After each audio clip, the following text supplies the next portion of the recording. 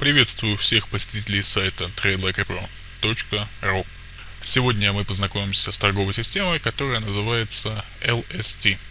Система эта сочетает в себе торговлю по методам price action с дивергенцией э, цены и модифицированного индикатора MACD. Стратегия это не для новичков, так как э, нужно сочетать определенные знания по построению трендовых линий, по построению горизонтальных уровней поддержки сопротивления и на основе знаний по price action уже решать, стоит ли брать сигнал от системы или нет. Если вы будете брать каждый сигнал по этой стратегии, который выдает сигнальный советник, то вы без сомнения будете находиться в убытках, так как эта система требует фильтрации сделок и нахождения точки опоры, как я уже не раз говорил предыдущих видео по торговле на основе price action, для любого сигнала нам нужна точка опоры. Также и в этой системе, если нет точки опоры, мы сигнал не берем. Прежде всего, стоит отметить, что стратегия LST универсальна, то есть вы можете использовать любой таймфрейм, вы можете использовать любую валютную пару. Наша система состоит из индикатора и сигнального советника. Начнем с установки всего этого на график. Прежде всего правой кнопкой мыши на любом графике, на любом таймфрейме и валютной паре.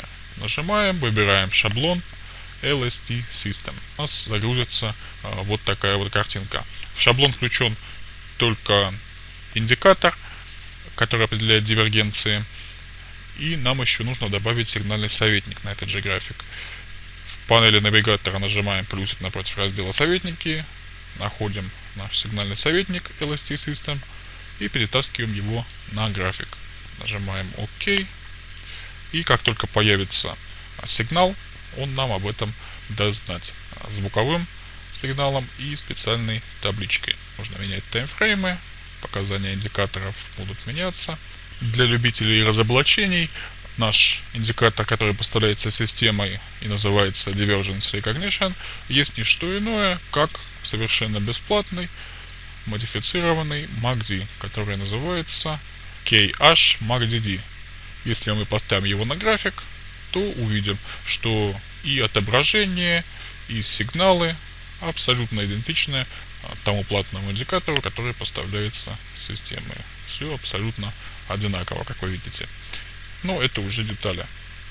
Нас прежде всего интересует сама стратегия и как с помощью нее получать прибыль. Когда же система выдает сигнал, на основании чего? А, прежде всего, это нахождение дивергенции цены и MACD. Дивергенция, если вкратце, это разность между ценой и индикатором. Ну, допустим, индикатор достигает новых минимумов, а график цены не достигает его. И таким образом мы получаем разницу в показаниях цены и индикатора, разницу в показаниях цены и осциллятора. И на основе этого уже делаем выводы о возможном развороте либо продолжении цены. Все зависит от вида дивергенции. Очень подробно дивергенцию, различные ее виды мы разбирали в обзоре стратегии Forex Master Method. Вы можете э, найти ее по ссылке, которую видите сейчас на своем экране. Там в первой части видео очень доходчиво а, все разъяснено. Мы выяснили, что первым делом для получения сигнала система смотрит на то, есть ли дивергенция. Окей, нашла она дивергенцию. Далее она смотрит, а, чтобы цена достигала экстремальных зон, то есть э, находилась э, в некоторой перепроданности либо перекупленности относительно предыдущего движения то есть старается покупать на перепроданности и продавать на перекупленности. Это второй элемент, который ищет система для формирования сигнала. У нас это никак не отображается, никакие зоны перекупленности, перепроданности нам глазами искать не надо, все это учитывает наш сигнальный советник. И третий элемент, который нужен нашей стратегии для формирования сигнала на вход в рынок, это один из трех графических паттернов, а именно молот, перевернутый молот, что я считаю за одну модель, модель поглощения и марубозу. Молотом называют свечу, у которой небольшое тело и длинная нижняя тень, длинный нижний хвост, на который она как бы опирается и отталкивает цену вверх. Тело свечи должно быть как минимум вдвое меньше вот этого нашего самого нижнего хвостика. И таким образом у нас получается как бы пружинка вот такая. Перевернутый молот представляет собой то же самое, что и обычный молот, но кверх ногами. Модель поглощения еще один из графических сетапов, которые ищет советник нашей системы, представляет собой вот нечто подобное, что вы видите сейчас на своем экране. А, то есть тело предыдущей свечи находится полностью а, внутри новой свечи. По модели поглощения я записывал отдельное видео, где очень подробно разъяснены все нюансы использования этого графического паттерна в торговле. И вы можете посмотреть это видео по ссылке, которую сейчас видите на своем экране. И третья графическая модель, которая используется в нашей торговой системе LST, это Marubozу, или же заход за пояс, как ее иначе называют. Это есть не что иное, как паттерн, состоящий из одной свечи, у которой низшая точка low совпадает с ценой открытия. Это обозначает, как правило, победу быков и сигнал потенциальному окончанию медвежьего тренда. Вот как это выглядит э, бычье Марубозу. И есть еще его противоположность, медвежий Марубозу. Это свеча, у которой точка high, наивысшая точка, совпадает с ценой открытия. Это свеча обозначает, что у бычьего тренда возможно образовалась вершина, медведи сильны и потенциальный сигнал, соответственно, к развороту рынка вниз. Итак, после того, как все три элемента дивергенция, графика цены и MACD, одна из трех графических моделей, о которых мы только что говорили, и уровень перекупленности либо перепроданности совпали, а после этого советник нам выдаст сигнал на открытие сделки, покупки либо продажи. Но это еще не все. Как я уже говорил, если брать каждый сигнал по этой системе, она будет убыточной. Нам необходимо проверить, есть ли у нашего сигнала точка опоры. То есть опирается ли сигнал на какой-либо горизонтальный уровень поддержки сопротивления. Также можно использовать для нахождения точки опоры уровни Фибоначчи, трендовые линии, но самое главное, на что стоит обращать внимание, это прежде всего горизонтальные уровни. О том, как находить и строить на графике горизонтальные уровни поддержки и сопротивления, мы говорили уже в отдельном видео, я советую и вам его обязательно посмотреть. Вы можете найти это видео по ссылке, которую сейчас видите на своем экране. Именно поэтому я и говорю, что эта система LST не для новичков, так как необходимо знание методологии торговли по price action, чтобы успешно применять эту стратегию. Предыдущие входы на графике советник не отображает, но в нем есть встроенный симулятор торговли. То есть мы можем проверить его в тесте стратегии, открывать э, сделки, выставлять стоп-лоссы за профиты, а все как в обычной торговле, а, но мы получаем возможность протестировать систему на истории и набраться опыта в ее использовании, в определении качественных сигналов, не тратя долгие дни на ее тестирование в реальном времени. Для того, чтобы все правильно работало в тесте стратегии, нам, как и при тестировании советников, необходимо загрузить историю для той пары, для того таймфрейма, на котором мы собираемся торговать. Для этого выбираем сервис, архив котировок, ну, допустим у нас фунт доллар, выбираем загрузить. И как только вот вся эта зеленая полоса заполнится, наши данные по этой торговой паре, ее история будут загружены. А после этого переходим в тестер стратегии. В графе советник выбираем наш сигнальный советник LST System. Выбираем валютную пару, нужный таймфрейм. А далее, если выбрать все тики, то тестирование будет очень медленное. Поэтому рекомендуется выбирать контрольные точки, хоть и написано, что результаты такого тестирования нельзя принимать во внимание, это для советников, для тестирования полностью автоматических торговых систем. Для тестирования нашей же ручной стратегии этот метод вполне подойдет, так как она дает и хорошие результаты, мы все равно в любом случае входим на точках открытия и закрытия свечей. И в то же время довольно-таки быстро рисуются свечки, что позволяет нам не сидеть долгие минуты в ожидании, когда же там появится сигнал. Итак, выбираем контрольные точки, а, выставляем дату, от какого числа и до какого числа мы хотим протестировать систему. Далее необходимо отметить галочкой пункт визуализация и выбрать скорость, с которой а, будет рисоваться наш график, как бы он выглядел на истории. Для поиска сигналов первоначально ставим максимальную скорость. Советник автоматически остановит график при возникновении сигнала. А когда будем входить в сделки, будем эту скорость уменьшать. Итак, после того, как отметили все нужные галочки, даты, выбрали инструмент контрольные точки, таймфрейм, отметили визуализацию, нажимаем старт. У нас появится а, график, это визуализация того, что было, визуализация истории. Мы его можем останавливать и вновь запускать вот этой вот кнопочкой, которая находится рядом с пунктом визуализация. И вот видите, мы управляем графиком, в любой момент можем его поставить на паузу. Э, при появлении сигнала автоматически нам выдаст вот такой вот э, сигнал наш советник. Вот сейчас э, выдал он нам сигнал на возможную продажу. Нажимаем ОК. Для того, чтобы увидеть полную картину, нам необходимо добавить на наш график индикатор дивергенции, который идет в комплекте с системой. Выбираем вставка индикатора пользовательский, Divergence Recognition. А, видим, что хотя советник и подал нам сигнал, но дивергенции нет. То есть он нашел графический паттерн, просигнализировал нам об этом, и к тому же этот графический паттерн находится а, в зоне перепроданности.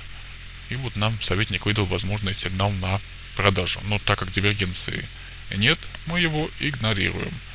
Нажимаем вновь на кнопочку Play, и у нас появился еще один сигнал, перевернутый молот, и тоже возможный сигнал на продажу.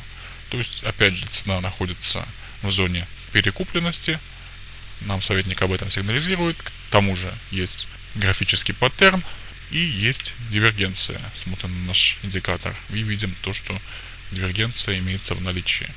Теперь нам необходимо выяснить, есть ли у этого сигнала точка опоры. Если ее нет, то мы такой сигнал, естественно, брать не будем.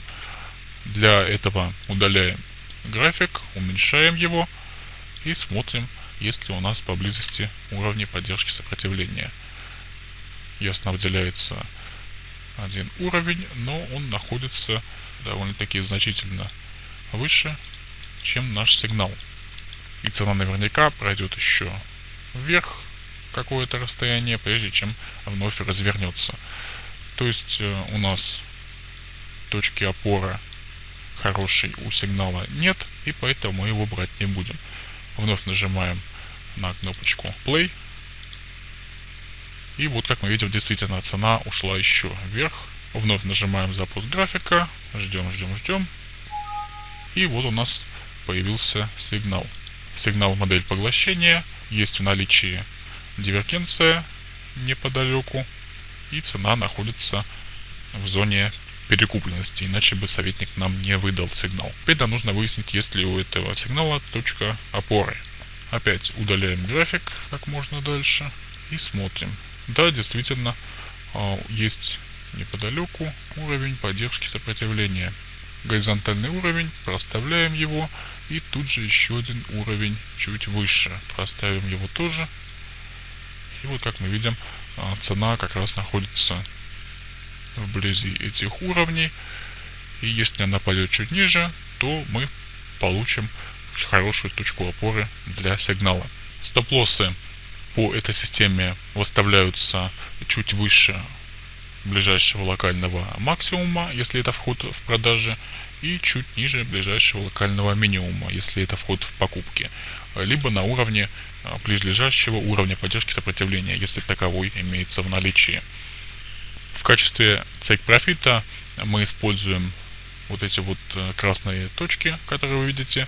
Это индикатор встроенный в советник, который называется Price Tunnel, то есть туннель цены. он нам показывает цели. Соответственно, для take профита по умолчанию мы смотрим на более дальний ряд точек, более крупных точек. Но если более ближний к цене ряд точек более мелких красных является хорошей точкой взятия take э, то есть расположен довольно далеко от текущей цены, то мы используем его в качестве цели. Но в любом случае мы не будем входить в сделку, если стоп-лосс, который нам нужно выставить по правилам системы, э, меньше, чем take profit, менее, чем в два раза. То есть, э, если take profit больше, чем стоп-лосс в два раза, или в три, или еще больше, мы входим в сделку, а если нет, если take profit чуть больше нашего стоп-лосса, скажем, в полтора раза, но не в два, то мы такую сделку игнорируем. Давайте посмотрим, а, как у нас в данном случае. У нас возможная точка входа, открытие новой свечи, а стоп-лосс нам нужно выставить чуть выше ближайшего локального максимума. То есть приблизительно наш стоп-лосс на пару пунктов выше ближайшего локального максимума. То есть приблизительно наш стоп-лосс где-то от 38-39 пунктов. А теперь давайте померяем расстояние до нашего цик профита по умолчанию до дальнего уровня красных точек. И мы видим, что цик профит по умолчанию 60 пунктов. А стоп-лосс, напоминаю, 38 пунктов. Естественно, тут мы не видим того, чтобы цик профит был в два раза больше, чем стоп-лосс, и поэтому такую сделку мы брать не будем. Почему? Я думаю, многие не раз слышали такое выражение, что позволяйте своим прибылям расти и немедленно обрубайте убытки. И в данном случае мы будем входить в сделки только если потенциальный take profit в два раза больше, чем стоп-лосс, а лучше в три раза или даже в четыре. Таким образом, даже если у нас будет убыточных сделок э, больше, чем прибыльных, мы все равно будем оставаться в профите. Итак, если соотношение риск-прибыль в сделке меньше, чем 1 к 2, мы в нее не входим. Вновь запускаем наш симулятор. И у нас появился еще один сигнал. Перевернутый молот. Теперь нам необходимо определить, есть ли у нашего сигнала точка опоры. Смотрим на уровни поддержки сопротивления. Как обычно удаляем, уменьшаем наш график. И видим, что ближайший уровень находится ниже нашего сигнала. А вот следующий уровень находится выше нашего сигнала. И вот у нас получается, что наш сигнал выше, чем один уровень и ниже, чем другой. Находится между уровнями, цена вполне может себе пойти вверх, выбить наши стопы.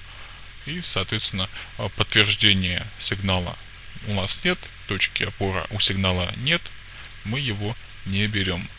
Вновь запускаем наш симулятор и появился еще один сигнал модель поглощения на продажу. А, есть опять же у нас дивергенция, но уровень находится далековато. Следующий сигнал у нас на покупку. Молот расположен как раз на уровне, который мы отмечали уже ранее. Есть дивергенция. И осталось нам померить расстояние стоп-лосса и расстояние цейк профита чтобы цек профит был как минимум в два раза больше, чем стоп-лосс. Итак, от нашей возможной точки входа стоп-лосс, соответственно, чуть ниже локального нашего минимума. И у нас стоп-лосс где-то 24 пункта. 24-23. Меряем расстояние до цек профита, до жирных дальних красных точек. И видим, что это расстояние у нас примерно 55 пунктов. А, то есть чуть-чуть больше, чем в два раза. Мы вполне можем взять такой сигнал и закупиться. Мы можем открывать э, сделки прямо в симуляторе. Для этого нам нужно будет показать советнику, э, где мы будем ставить стоп-лосс и profit. Делается это с помощью горизонтальных линий. Давайте уберем наши уровни, чтобы они не мешались. Выставим горизонтальную линию красную, назовем ее SL стоп-лосс. Она будет обозначать, где у нас будет стоп-лосс у сделки, ее можно два раза щелкнуть мышкой и перетянуть выше, ниже, если вы сразу ее не совсем правильно поставили. Ставим ее чуть ниже нашего локального минимума, и теперь нам нужно показать советнику, где у нас будет стоять take profit. Опять выбираем горизонтальную линию, ставим ее на уровне наших жирных красных точек, щелкаем по ней два раза мышкой, переименовываем ее TP, то есть take profit, и давайте выставим у нее цвет какой-нибудь другой, чтобы она отличалась от нашей а, линии стоп-лосса.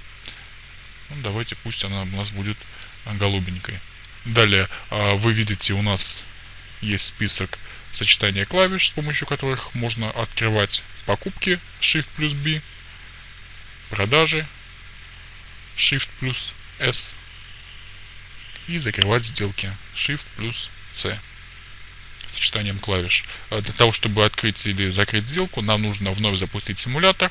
Давайте уменьшим его скорость, чтобы она не ускакала, прежде чем мы откроем сделку. Для покупки нам нужно вновь запустить симулятор и нажать Shift плюс B. Нажимаем пуск, Shift плюс B. Вот у нас открылась покупка. Теперь можно вновь поставить симулятор на паузу, посмотреть, э, какие у нас есть открытые сделки в графе результаты. Вот у нас а, сделка. Выставились у нее стоп-лосс и take profit в соответствии с теми значениями, где мы выставили наши а, линии, которые мы называли стоп-лосс и take profit. Можно вновь увеличить скорость, чтобы побыстрее увидеть, чем же все закончится. И вновь нажимаем на кнопочку play. Как вы видите, сделка успешно закрылась по take profit и мы ждем теперь появления нового сигнала. Для того, чтобы считать сигнал по системе полноценным, нам что нужно? Во-первых, появление дивергенции, во-вторых, появление одной из графических моделей, а нам это автоматически укажет советник. Также должен быть сигнал от советника, он еще смотрит на то, чтобы цена находилась э, в экстремальных зонах, и после того, как э, нам выдал сигнал советник, есть дивергенция, нам необходимо проверить, есть ли у этой возможной точки входа, у этого сигнала, есть ли у него точка опоры. То есть э, нам нужно, чтобы он располагался на одном из горизонтальных уровней, либо хотя бы на уровне Фибоначчи, либо на уровне трендовой линии, то есть чтобы у него была точка опоры. Но лучше всего, конечно же, использовать горизонтальные уровни. Далее мы смотрим, чтобы стоп-лосс у нашей сделки был в 2, а лучше в 3 или в 4 раза а меньше, чем наш take profit. Если условие стоп-лосс меньше take профита как минимум в 2 раза не выполняется, то есть соотношение риск-прибыль в нашей сделке хуже, чем 1 к 2, то мы такой сигнал опять же не берем. То есть мы всегда нацелены на то, чтобы цек профит сделки был как минимум в два раза больше, чем стоп-лосс. В противном случае мы просто не входим в рынок. Думаю, примеры входов по системе понятны. Теперь давайте разберем э, некоторые дополнения. Во-первых, э, в настройках советника правой кнопки мыши на графике, советники свойства, можно выставить агрессивность торговли. То есть э, мы можем здесь поставить значение от единицы до 3. И, соответственно, единица это наиболее консервативный режим торговли. Сигналов меньше, но они более качественные. Двойка это нормальный режим появления сигналов со средней степенью риска. И если поставить здесь 3, то мы включим наиболее агрессивный режим, когда сигналов будет больше, они будут появляться чаще, но, соответственно, они менее надежные. Как вы видели в режиме симулятора, советник позволяет открывать сделки с помощью сочетания клавиш и выставлять take profit и stop loss с помощью линий. В режиме реальной торговли на реальном графике в реальном времени. У нас такой возможности нет, но с системы идет э, скрипт, который несколько позволяет нам упростить открытия сделок. Нажимаем в панели навигатора напротив раздела скрипты плюсик, находим скрипт lst execute и перетаскиваем его на график. У нас появляется окно параметров. А здесь а, параметре buy нам нужно прописать, что мы хотим сделать, купить или продать. А если купить, то buy, если продать, то sell. Выставить уровень стоп-лосса, take profit. Мы будем входить с фиксированным лотом. Если мы поставим сюда, допустим, 0,1, то откроется сделка на 0,1 лота. А если же в параметре фиксированные лоты стоят нули, то будет использоваться параметр risk percent. То есть каким процентом от депозита мы будем рисковать в сделке. Вот по умолчанию стоит 1%. Можно поставить 2, 3 и так далее, как хотите. Но вообще э, по этой системе не рекомендуется рисковать в одной сделке более чем двумя процентами от депозита. Ну давайте поставим там 2. Нажимаем ОК. И у нас появляется а, окно, где нам предлагают согласиться либо отказаться от открытия этой сделки. У нас есть тут цена входа, стоп-лосс, take profit, стоп-лосс сколько пунктов, take profit сколько пунктов, с каким лотом откроется наша сделка. На основании того, что мы указали в параметрах скрипта, я указал, напоминаю, 2% риск от депозита. И вот, соответственно, скрипт нам предлагает открыть сделку с лотом 0,39.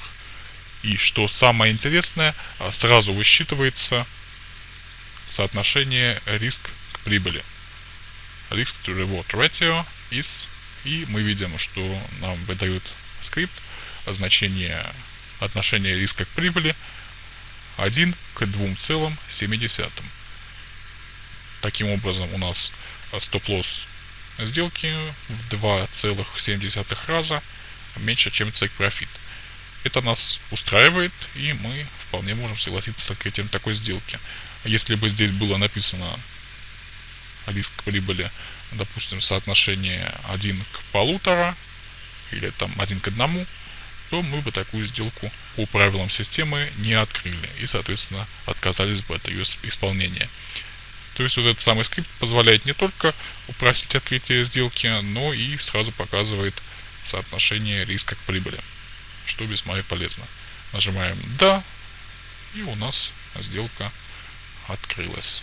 Мы можем в терминале увидеть продажа, фунт доллар, ну и там какая-то прибыль, убыток это не столь важно. А, я показывал именно использование скрипта. Сигналов по системе а, на данный момент не было. Еще стоит отметить, что если вы вошли в сделку и наблюдается боковое движение на рынке в течение 10 свечей или более, а, то из такой сделки лучше выйти от греха подальше и ждать следующего сигнала. Что имеется в виду под боковым движением? Ну, допустим, вот купили вы где-то вот здесь, где я установил горизонтальную линию. Я не знаю, был тут сигнал от системы или нет. Ну, допустим, был. Вы купили. И далее видите, что рынок никуда особо не идет. Свечи то вверх, то вниз. Наблюдается боковое движение. Измеряем количество свечей, начиная от сигнальной. И видим, что вот уже даже 11 свечей. Боковое движение. А мы тут вот где-то купили. И где-то на 10-11 свечке, когда мы уже точно убедились в том, что это боковик, боковое движение, ничего не происходит, лучше закрыть сделку и ждать следующего сигнала.